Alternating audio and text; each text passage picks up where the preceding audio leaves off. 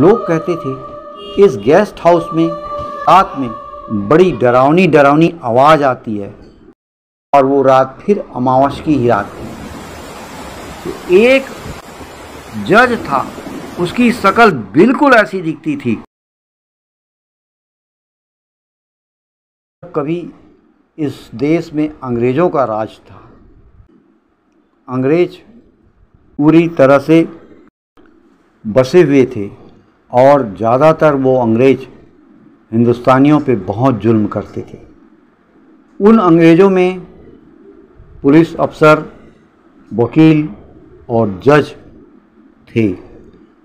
उनमें एक जज था, जो कि स्वभावता बड़ा ही क्रूर किस्म का था। उसकी क्रूरता के बारे में दूर दूर तक लोग सुन करके जब कभी उसका नाम लोगों की ज़ुबान पे आता था तो लोग उस जज का नाम सुनकर ही काँप जाते थे। उस जज का नाम था शेमुअल। उसका स्वभाव था कि किसी अपराधी के बारे में जब वो फैसला करता था तो 90 प्रतिशत अपराधियों को वो मौत की सज़ा देता था। और मौत की सज़ा देने के बाद जज तो वो था ही, जल्लाद भी खुद बन जाता था। लोग कहते थे कि ये जज भी है और जल्लाद भी।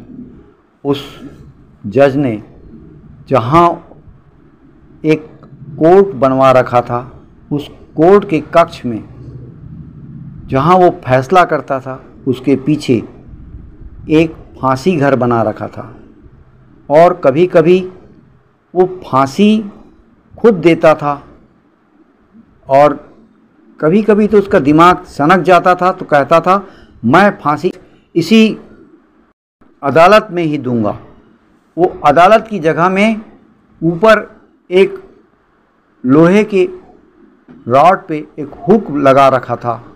उस हुक में रस्सा बांधकर, रस्से में फंदा बाँध देता था और अपराधी के गले में डालकर उस फंदे को खुद खींचता था और अपराधी को तड़पते हुए देखने में उसको बहुत मज़ा आता था। पता नहीं उसमें ऐसी क्रूरता क्यों थी। बहुत ही नीच और क्रूर किस्म का इंसान था वो। कई बार, कई लोगों को निर्दोष होते हुए भी किसी तरह दोषी ठहरा देता था और दोषी ठहराने के बाद उन अपराधियों को, उन लोगों को, वहीं अदालत में लोगों के सामने अपने ही हाथों से फांसी के फंदे पर लटका के फंदा खुद खींचता था। लोग देख के साम जाते थे और वहाँ से कोई हटने या भागने की कोशिश करता था तो सिपाहियों को निर्देश दे देता था, कोई यहाँ से भाग के जाने ना पाए। अगर कोई जाएगा तो उसको शूट कर देना। लोग डर जाते थे। और उसकी क्रूरता का वह घिनौना क्रूर नाटक देखने पे मजबूर होते थे। वो अपराधी को ज़मीन में पटक देता था और सिपाहियों से, कुछ और लोगों से कहता था, इसको मारो, तब तक मारो जब तक ये अधमरा ना हो जाए। और वो खुद तब तक फंदा तैयार करता था। और फंदे को हुक पे लटका करके कहता था, अब इसको यहाँ लाओ और इसके गले में फंदा डाल लो। वो शैमुअल इतना क्रूर किस्म का इंसान था कि उसे किसी पे दया नहीं आती थी। जब वो फंदा उस इंसान के गले में लटका देता था तो फंदे को पूरी ताकत से खुद खींचता था। पीछे उस इंसान का हाथ बंधा होता था नीचे से पैर बंधा हुआ था, था। और मुँह भी बाँध देता था ताकि वो चीख ना सके।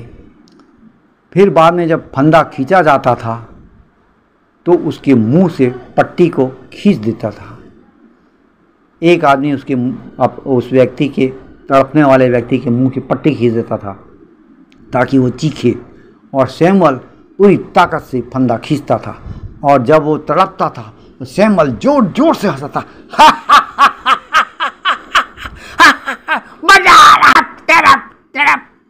और ऐसा करते करते जब वो इंसान तड़प तड़प के मर जाता था, सैमल को बहुत मज़ा आता था। लेकिन कहते हैं ना, मौत हर इंसान को एक ना एक दिन ज़रूर आती है। एक दिन सैमल की भी मौत आ गई। वो बीमार हो गया और अपनी बीमारियों में वो भी वैसे ही तड़प तड़प कर मर गया। लेकिन लोग कहते हैं, शेमवल मर तो ज़रूर गया, लेकिन उसकी आत्मा वहीं भटकती थी। कुछ दिनों बाद जब देश आज़ाद हो गया तो वो कोर्ट वहाँ पर अंग्रेज़ों का सलामत था। लोगों ने कोर्ट के भीतर से कुर्सी, टेबल सब वहाँ से हटा दी थी। कुछ टेबल, कुछ कुर्सियाँ ज़रूरत के मुताबिक रखा था और वहाँ पर कुछ बेड्स लगा दिए गए थे पलंग। धीरे धीरे उस कोर्ट की जगह को एक गेस्ट हाउस में बदल दिया गया ताकि आने जाने वाले व्यक्ति कोई वहाँ पर रुकना चाहे, ठहरना चाहे तो रुक सकते हैं। और उस जगह को गेस्ट हाउस बनाकर लोगों को रुकने ठहरने की व्यवस्था दी गई। अब कभी कभार कुछ लोग रुक जाते थे, लेकिन शुरुआत में तो किसी प्रकार की कोई घटना नहीं घटी। लेकिन जब कभी अमावस आती थी तो अक्सर ही उस अमावस की रात में कोई ना कोई घटना ज़रूर घटती। ये धीरे धीरे होने लगा कि वहाँ रुका हुआ व्यक्ति दूसरे दिन मरा हुआ मिला। लोग सोचे कि शायद हादसे से डर के ये मर गया होगा। मगर कुछ दिनों बाद और भी लोग आए, रुके, ठहरे। सबके साथ ऐसी घटना तो नहीं घटती थी, मगर लोग कहते थे, इस गेस्ट हाउस में डरावने सपने आते हैं। डर लगता है, ऐसा लगता है कि कोई जानवर चल रहा है, कोई इंसान बड़ी क्रूर आवाज़ निकाल रहा है। कुछ लोग इस बात को सुनते थे और नज़रअंदाज कर देते थे। लेकिन जब कभी अमावस आती और इतफाक उस अमावस की रात को वहाँ कोई अगर ठहर गया होता था तो दूसरे दिन उसकी लाश मिलती थी। लोग इस बात पे हैरान होने लगे कि जब कभी अमावस आती है तो दूसरे दिन यहाँ रुका हुआ इंसान मर जाता है। लोगों ने अमावस की रात को वहाँ पे रुकने से मना करना शुरू कर दिया लोगों को। अब हुआ ये कि एक बार एक व्यक्ति जिसको बहुत ज़रूरी काम से रुकना था, रात अमावस की थी, मगर उसका रुकना ज़रूरी था। मना करने के बाद भी उसने कहा, चाहे कुछ भी हो जाए, मेरा रुकना ज़रूरी है, मुझे दूसरे दिन बहुत ज़रूरी काम है। उसे समझाया गया, बाबू, यहाँ पर ऐसी घटना घट चुकी है। तो उसने कहा कि चाहे कुछ भी हो जाए, मुझे रुकना तो ज़रूरी है और कोई दूसरी जगह रुकने की है भी नहीं। वो वहाँ रुक गया।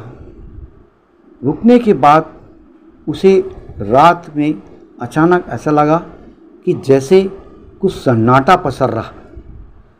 धीरे धीरे कुछ ऐसा लगने लगा कि सब कुछ सुनसान, सन्नाटा सा हो रहा है। और कुछ डरावनी हरकत सी हो रही है। तभी उसने महसूस किया कि कुछ खड़ंग खड़ंग की आवाज़ आ रही है। अचानक उसकी नींद खुल गई, उसे रहा नहीं गया, वो उठकर बैठ गया। तभी उसने देखा एक बड़ा भयानक सा चूहा जो मोटा सा था, वहीं आसपास घूम रहा है। उसने बड़े गौर से देखा कि वहाँ आसपास तो खाने पीने की कोई चीज़ नहीं है। फिर भी वो चूहा वहाँ क्यों घूम रहा है? देखते देखते चूहा उसके सामने आने लगा। वो चूहे को गौर से देख रहा था। चूहा भी उसकी तरफ़ ऐसे देख रहा था, जैसे मानो वो चूहा नहीं, कोई बहुत बड़ा भयानक दैत्य हो। उसकी आँखें चूहे की लाल लाल हुए जा रही थी और धीरे धीरे उसके दांत बाहर निकल रहे थे। दांत धीरे धीरे बड़े होते जा रहे थे और चूहे का आकार भी बड़ा हो रहा था। वो देखते देखते कुछ बड़े आकार में बन होने लगा। अचानक चूहा ज़ोर से उछला। युवक रुका हुआ था, वो घबरा गया और इतना डर गया कि उसकी घिघी बंद हो गई। ना हिल सक रहा था, ना उठ सक रहा था। तभी उसने देखा कि चूहा डरावनी शक्ल में बदलता जा रहा है। उसकी शक्ल बदल रही है, उसके दांत बड़े बड़े हो रहे हैं पहने हो रहे हैं और अचानक ये ये ये की आवाज़ के साथ चूहा बड़ी डरावनी सी आवाज़ निकाल रहा था। ऐसी आवाज़ जैसे कि कोई आदमी घुर्रा रहा हो। और देखते देखते देखते देखते उस चूहे की शक्ल ऐसे बदली ऐसे बदली कि वो एक इंसान का रूप लेने लगा और धीरे धीरे उस चूहे की शक्ल आधा इंसान और आधे चूहे में बदल गई। अब क्या था? वो व्यक्ति जो वहाँ रुका हुआ था, वो बेचारा मरता क्या करता, कुछ नहीं कर सका। और धीरे अचानक वो चूहा ऐसी भयानक की आवाज़ निकालते हुए उस व्यक्ति के ऊपर झपटा और झपट कर उस व्यक्ति की गर्दन में अपने दोनों दांत दबा दिए और इतनी ज़ोर से काटा कि वो व्यक्ति चीख तक ना सका और देखते देखते वो मर गया। देखते देखते मर जाने के बाद उस चूहे ने उस व्यक्ति का सारा खून चूस लिया। खून चूस जाने के बाद वो व्यक्ति वहाँ पे मरा पड़ा था और चूहा धीरे धीरे अपने वापस चूहे की आकार, आकृति में आकर धीरे धीरे वहाँ से गायब हो गया। दूसरे दिन गेस्ट हाउस चलाने वाला जो संचालक था, वो देखा कि वो व्यक्ति जो सुबह गेस्ट हाउस को खाली करने वाला था।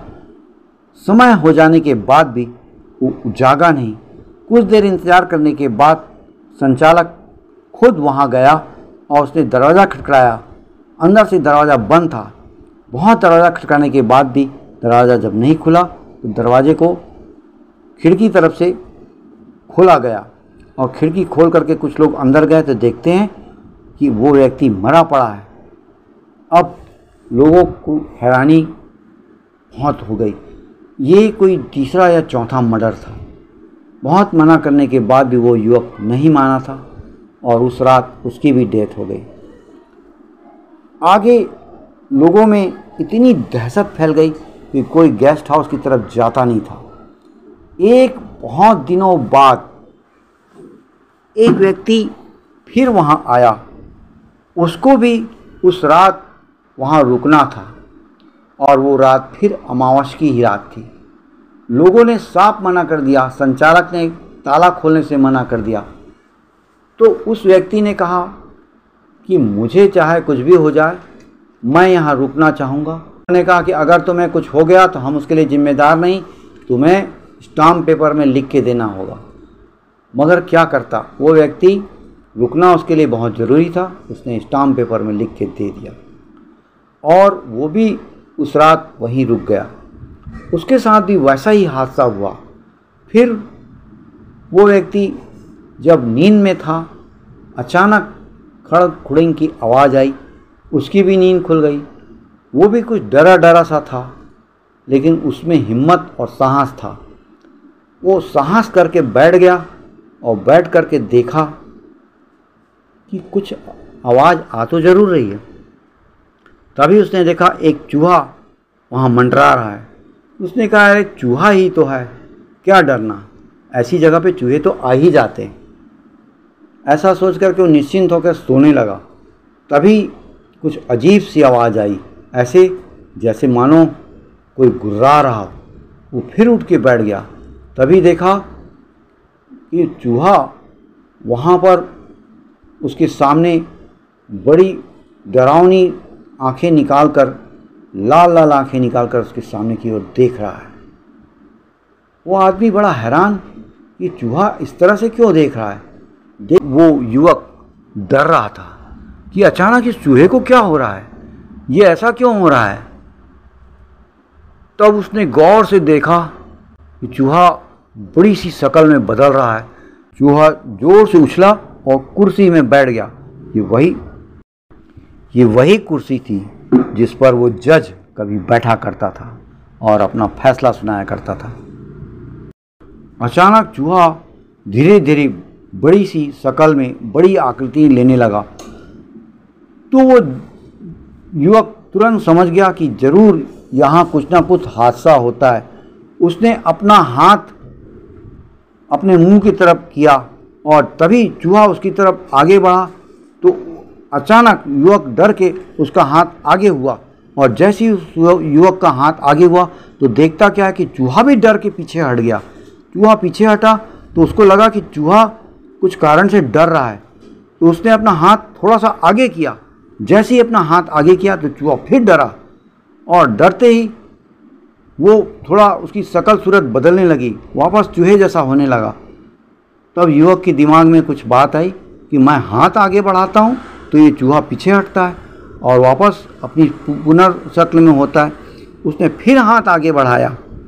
हाथ आगे बढ़ाते ही चूहा फिर डर गया और डर करके वापस छोटी सी शक्ल में होकर के वहाँ चुपचाप शांत बैठ गया। तब उस व्यक्ति ने अपना हाथ आगे बढ़ा करके फिर उसको डराया और देखते देखते चूहा वहाँ से भागा और भाग गया। अब क्या था? वो युवक तो इतना डर गया था, क्योंकि उसने ये देखा था कि चूहा अचानक नाटकी ढंग से एक बड़ी डरावनी शक्ल में बदल रहा है। ऐसा तो होना बहुत असंभव था, लेकिन आखिर ये हुआ था। तो वो तुरंत वहाँ से बाहर निकला और बाहर निकल करके चीखता चिल्लाता वो बाहर बाहर जा कर के लोगों को मिला और लोगों से मिल कर के बताया सारी घटना। रात के 12 बजे का वक्त था। लोग हैरान थे उसकी सारी बात सुन करके। उसने एक एक बात जो घटना घटी थी, सबको बताया। तभी वहाँ पे एक तांत्रिक व्यक्ति आया और उसने देखा कि ये युवक जो बता रहा है, इससे पहले तो चार लोग मर चुके थे। ये पांचवा युवक था जो जीवित बच के आया उस तांत्रिक व्यक्ति ने पूछा कि क्या तुम्हारे पास कोई चीज़ है? त्रिशूल, गंडा, ताबीज, अंगूठी तब युवक ने कहा हाँ मेरे हाथ में एक अंगूठी है। तो तांत्रिक ने उसकी अंगूठी को गौर से देखा, उसमें हनुमान जी की फ़ोटो थी। उस हनुमान जी की तस्वीर की वजह से युवक बच गया और वो जो प्रेतात्मा थी वहाँ से डर के भाग गए तब उस तांत्रिक ने कहा, ज़रूर यहाँ कोई प्रेतात्मा है, जो चूहे की शक्ल से बढ़कर इंसान की शक्ल लेती है और डरावनी शक्ल। उसी प्रेतात्मा ने ये मर्डर किया है। मगर इस प्रेतात्मा को पकड़ा कैसे जाए? तांत्रिक सोचने लगा। आखिर सो सोचते सोचते उसने एक उपाय बनाया कि क्यों ना इस गेस्ट हाउस को तोड़ के हमेशा के लिए नष्ट कर दिया जाए, ताकि यहाँ से वो प्रेतात्मा चली जाएगी। लेकिन ये नहीं समझ में आया कि आखिर ये प्रेतात्मा है कौन। कुछ दिनों बाद उस गेस्ट हाउस को तोड़ दिया गया। तोड़ देने के बाद भी लोगों ने देखा कि वहाँ पर रात में डरावनी आवाज़ आती है।